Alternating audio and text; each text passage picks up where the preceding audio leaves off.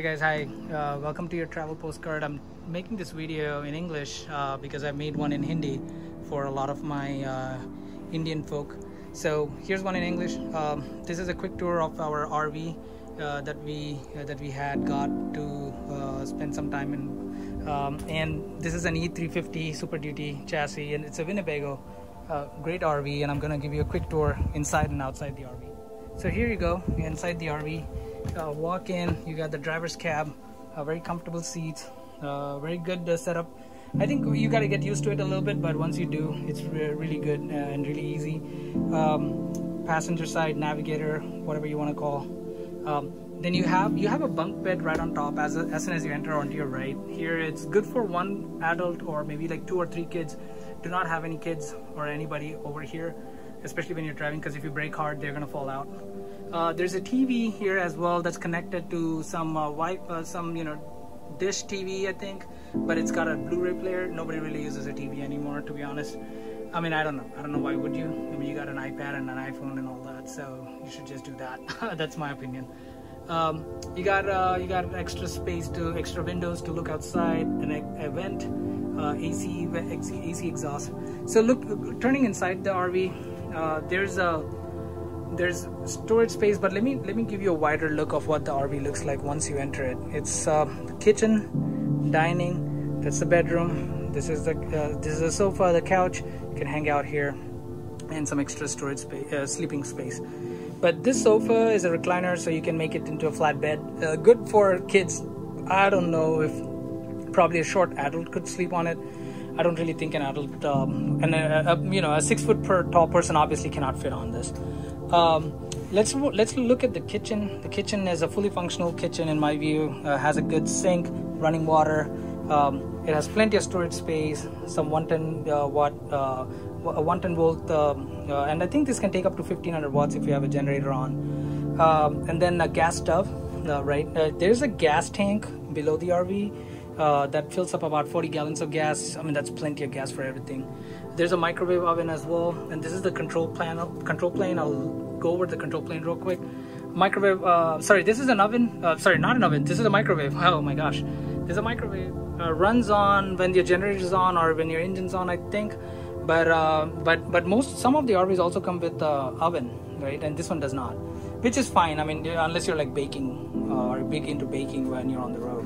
Um, this dining table converts into a flat bed as well. You just have it's pretty easy. You just pull it out, you just lay down, and then convert these uh, pillows into like a flat bed. Again, I don't know if an adult would fit on that unless you know squish your legs up, but uh, or you know it's mostly for kids in in my view. Uh, those curtains go up, and you can look outside. It's pretty nice, uh, pretty nice driving that way. Uh, fully functional fridge. I think it's a pretty good sized fridge. I mean, it's got plenty of storage space and there's a fully functional freezer. This is really good because in case you don't have to stop for ice or anything. Um, this is the thermostat for the cool heat um, and the air. This works only when the generator is on and I'll show you how to turn that on but the generator provides enough electricity for the AC to kick on because the ACs are going to be a lot of uh, power uh, usage. Uh, this is really good because this allows you to hook up your car safety like a child seat. That's mandatory in the US, right?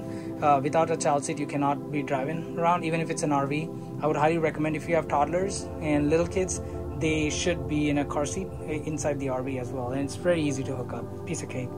Um, this RV has uh, six people seating capacity, so there's a capacity, sleeping capacity is also six. The way they judge that is any seat that has seat belts is one person, right? This has seat belts, it's hidden behind that.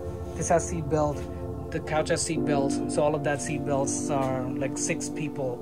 So that's what. Now, can you technically stuff more people in? Yeah, I mean, you can. I mean, the RV has plenty of room. Let's look at the bedroom real quick this is the bedroom uh, i think two two grown adults maybe two little kids uh, plenty of space here um, uh, I gave some feedback to put curtains here. I think it would be nice if it gets darkened and even here a curtain. That would be nice. That's not there today, but hopefully they'll put that in. Uh, storage space over there as well. Plenty of storage space. Plenty of storage space in here as well uh, for the RV. Now here is the bathroom, the restroom. I know everybody's probably curious about it, so let's look at it uh, you got let's start with the exhaust right? So just because it's closed and small doesn't mean it can't vent out. So you just twist this open and then you turn on the little switch and this fan kicks on. So that's good uh, for the air fresh air to kind of go out. Uh, come in and you know the, you know if you want any exhaust to go out. Um, sink uh, hot water cold water you know and there's lots of storage space over here and in there toilet very straightforward once you use your toilet you flush it out and that's it and this is the shower i think a full uh, fully grown person could uh, could fit in here i think a good six i think easily a six foot person will fit in here even a little taller uh, I think it's um, it's about I would say 36. Uh, it's about three feet in length and uh, three feet in length and about two and a half or two feet in width. So about 36 by 24, I would say, if I can guess. Um, but but yeah, pretty pretty straightforward stand-up shower. Some hooks to put on your towels. Let's look at the control panel real quick. Uh, so this is the control panel. This is pretty important. Uh, so this RV has a pretty cool feature, which which is an inverter feature. So basically, this inverter, when you have it on, it runs the fridge. So just just the fridge, as far as I know, and it uses batteries. So if you're parked anywhere outside, uh, for the fridge to run, you don't have to run the generator. So there's a separate generator for, like I mentioned, for the AC. Um, you need a generator um, so for the oven, uh, for the microwave and things like that. But if you don't want to keep running the generator, which uses your petrol or gasoline, uh, then you can just leave the inverter on and that powers the fridge and the batteries get recharged every time you start your engine or, the, or your generator. Now, if you do want, and you press this, it turns off. If you do want the generator, all you do is you press this switch there you go. The fridge is on. The generator is running right now. You can hear it. This is the number of hours the generator is running for. Or, uh, so every time an hour passes, it records it. So that way you can keep a track of how long your generator has been running. Um, and to stop it, you just press this.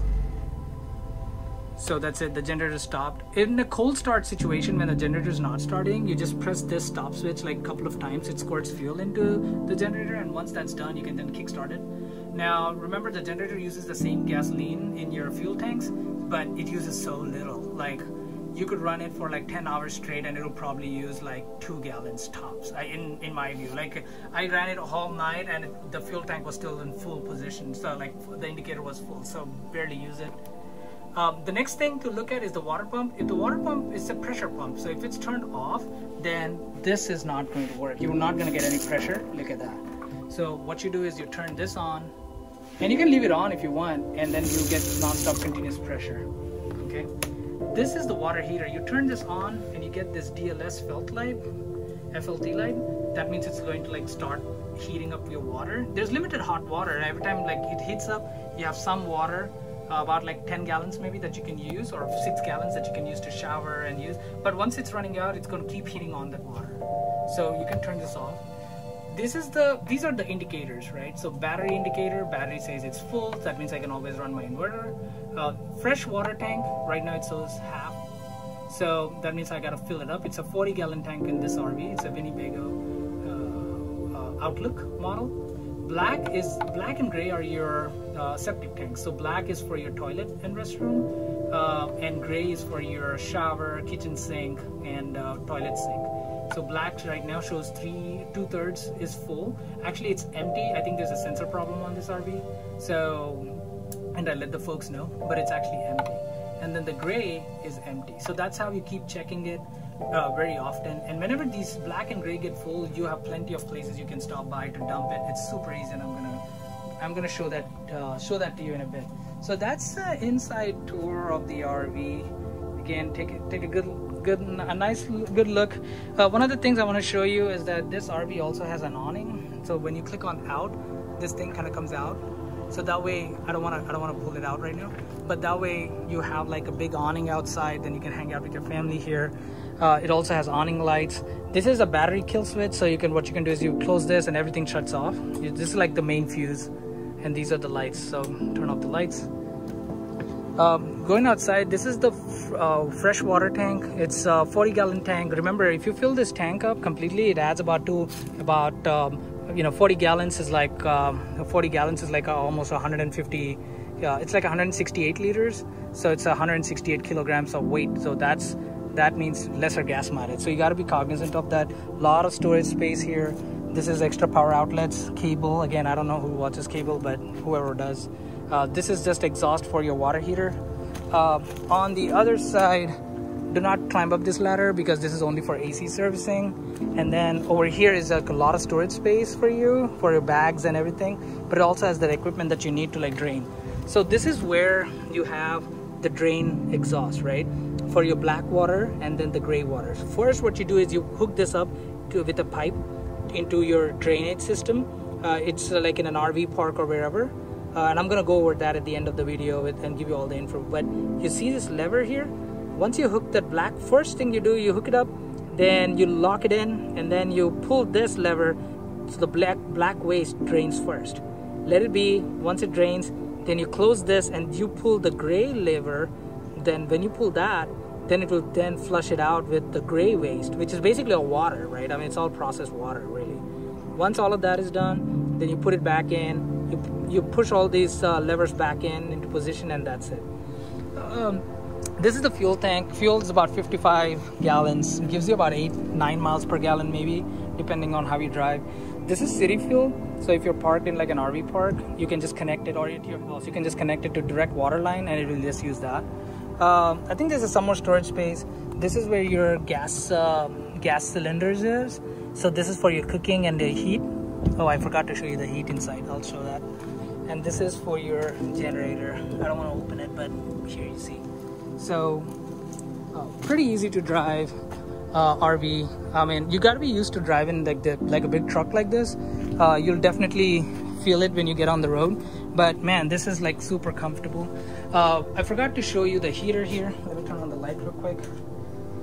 So this is the this is the heater. So when you turn on the heater, you don't need the generator on. But when you turn on the heater, it heats using your gas outside, which is LPG gas, not your gasoline so it uses that and heats up the RV so you know gets pretty hot uh, uh, and the thermostat really controls that. So it's actually a pretty good thing because you don't have to turn on the gas uh, generator all night. You can still heat the RV and your fridge is still working with the inverter. So kind of like self you know it's kind of complete isolation right? You don't you're not really depending on anybody at that point. So I made this video real fast because my battery is like literally dying so so i had to really charge my battery real quick and i make this video but hopefully you guys liked it. Um, yeah you definitely have to definitely reach out to me and in comments below so that way i can give you more information about uh, about the about the nice family that i got this rv from. Uh, and uh, yeah i mean uh, i'll also share some tips at the end of the video on where you can uh, do what what not and I mean, it's super easy. I'll probably end up buying one of these in about five years when the kids grow up a little bit. But um, and also leave some. I'll also leave some toddler tips. As for example, if you're traveling with toddlers, it's going to be a little challenging because they they want to always get out and run around. So uh, uh, what do you got to do uh, when when that happens? But um, all right, guys, thanks a lot. But um, do like and subscribe.